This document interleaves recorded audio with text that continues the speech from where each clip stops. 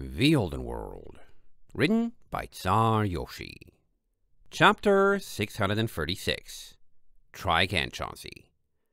As the hospital elevator dropped into the giant underground generator chamber, Valet stood next to Starlight, her brain running at miles per minute. She needed a perfect grasp of what she was doing, and her goal was specifically not to rationalize going to Mistvale to chase Kiro's mercenaries. Right now, she needed a clear head, focused on one thing. She was tired of not knowing who she was or finding tidbit after dark tidbit that renewed her doubts and prevented her from being at peace. Chauncey was going to give her all the answers he was worth, and that would be the end of that. You're nervous, Starlight remarked. Me? Nervous? Uh, brushed it aside, then hesitated. Yeah, look, who wouldn't be? But I'm to be a whole lot more nervous the next time someone tells me something spooky about where I came from if I don't find out on my own. Memories of Einrich floated across her mind as the elevator slid to a stop, of a dim red prison in the flame barracks where she had become Maple and Starlight's friend once and for all. When Einrich and the defense force had no longer been enough, when she officially broke with pretending to be the monster she always believed she was. She had tried to be good. She had tried to live a normal life, away from her history and all its secrets. And everything she had started there was about to be finished, here and now. Come on, Starlight, she said, sliding open the doors to Stanza's room. Chauncey, where are you? The room was lit, yet empty. Stanza's monstrous form nowhere to be seen.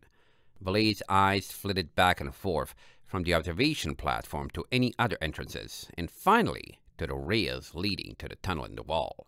Chauncey! Starlight shrugged. Well, it can't be like he spends all his time down here, right? Nah, this place must have a security system. Valet frowned, striding forward. He's gotta be looking for someone, Chauncey's voice interrupted from the doorway they had just used. Valet and Starlight both spun.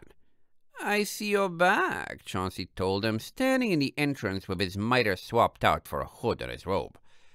Fancy meeting you again. After our last talk, I had begun to fear you wouldn't want anything to do with me.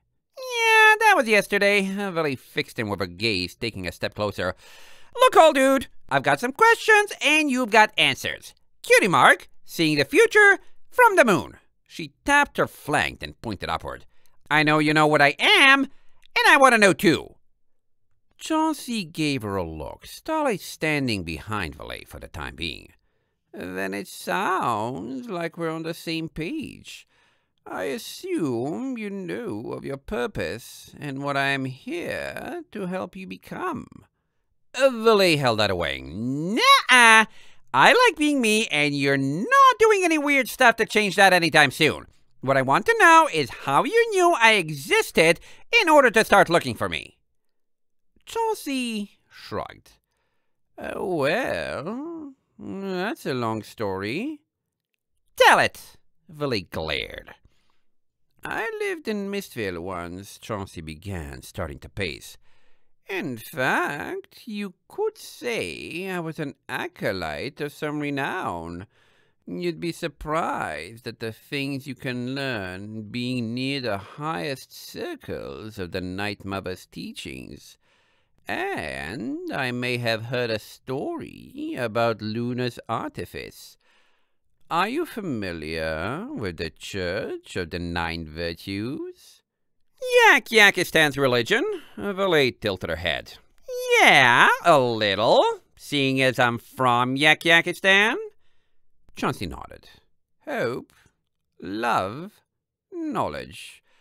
The free societal virtues that complement the personal virtues of the elements of harmony. It is said the world contains three immensely powerful artifacts that embody these virtues, wielded by goddesses or else lost long ago. Our creator, Princess Luna, wielded the immortal dream, the crystallized virtue of hope. With it, she was able to create brands from nothing and eventually our entire race. If a single brand is the power to make one wish come true, this is the ability to grant all wishes, to make manifest any and every one of your heart's desires, the true power of a god. Okay, Valet watched him warily. Don't start rambling, dude. Chauncey eyed her with a be quiet look.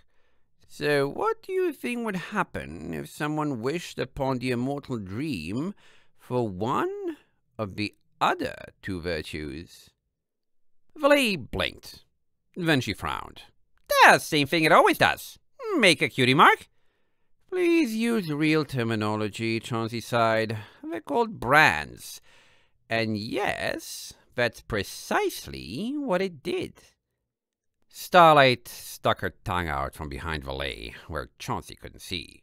Luna's artifice, Chauncey continued, is a brand with a lesser, limited ability to predict the future, a shadow of the ultimate power of the embodiment of love.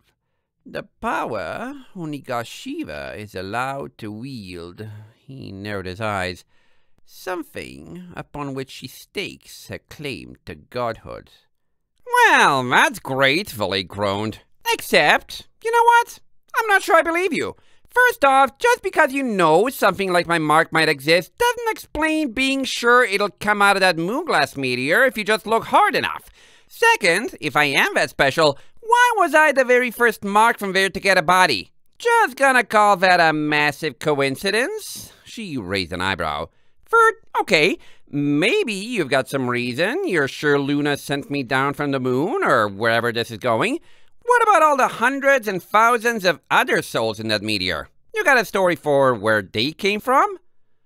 Are there any coincidences for one who can change the future? Chauncey shrugged. I only learned of your existence when Kiru decided to tell me you had been living under his nose for years of searching and experimentation, and in a body Stanza could work with at that. You know more about your powers than I do, Valet. If you see a future you don't like, why not change it? What might seem a lucky coincidence to others could be a calculation from you, because you can know things no other can. Valet tapped a hoof. Not really answering the question there, geezer. So, I'm gonna ask again. Congrats, you knew I existed. Why did you think I was gonna be in that moonglass? Chauncey didn't seem to have a better answer ancient legends and prophecies from another time. You don't think Luna wouldn't have used the artifice she created, would you? Valet frowned. Buddy, I can tell when someone's... You know what? Nah, I'm not telling you what my butt can and can't do, but I'm pretty sure it can't read stuff thousands of years in advance if it's a more limited copy of the real thing. Uh, then maybe Luna made a promise on what she intended to do, Chauncey offered. If a goddess possesses the power to make their will an absolute reality, what is the difference from them between a promise and a prophecy? Valet folded her ears. That was actually a good point. So what? You guys have lore up in Mistvale that said this meteor would come? Hmm, something of the sort, Chauncey said, tilting his head. You're not thinking of going to Mistvale to fact-check me, are you? Let me guess. Valet hovered, folding her forelegs and pointing a rear one at Chauncey. If I say yes, you're going to ask me a favor about a certain insane monk who got sealed away, aren't you? It sounds like you're very astute, Chauncey agreed. I have two nightmare modules, and I want the rest. Actually, there's only one I really need. Nightmare Module 5, the Treachery Module. Mistvale also has legends on what each of the modules do, and this one is very relevant to my interests. Do I want to know? Chauncey bowed his head. Oh, it's completely harmless, he assured. The fifth module is nothing but a recording of a memory. One of Princess Luna's memories. Specifically, a memory of her greatest betrayal. I want to see this memory and know what it contains. Ah, Valet squinted. Hmm, dare I ask why? Apparently you do, Chauncey shrugged. And I have my reasons. You sound like you're familiar with the tale of Monk Lord Yanavan. Was he infamous for again? Hmm, betraying someone? The Mistvale High Monk Council? Valet nodded, slowly following. It's fascinating. Chauncey turned, continuing to pace. All the stories say he stole the modules as part of his treachery, but what if it's the other way around? What if he learned what was inside, and it was such a terrible secret it destroyed his faith in the religion altogether? The most devout becoming the most despised in a single night. Such a secret could be very powerful. Valet squinted. You think it's a weapon to blackmail the Night Mother?